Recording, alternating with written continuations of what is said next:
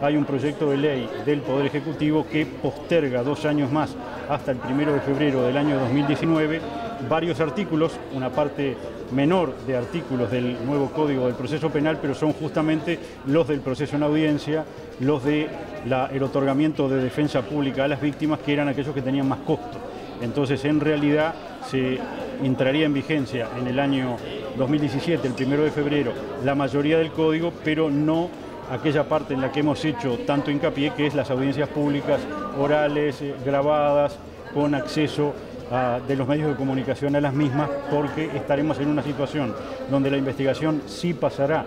a cargo de la Fiscalía General de la Nación y los fiscales, pero el resto del proceso seguirá como hasta ahora, eh, por escrito, conforme al código del CPP de 1980.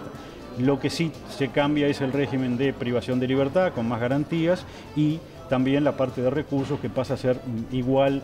prácticamente al resto de las materias por el Código General del Proceso. Pero lo que era la médula del proceso penal, que era el proceso en audiencias, ya hay un proyecto del Poder Ejecutivo postergando por razones presupuestales su vigencia dos años más hasta febrero del 19.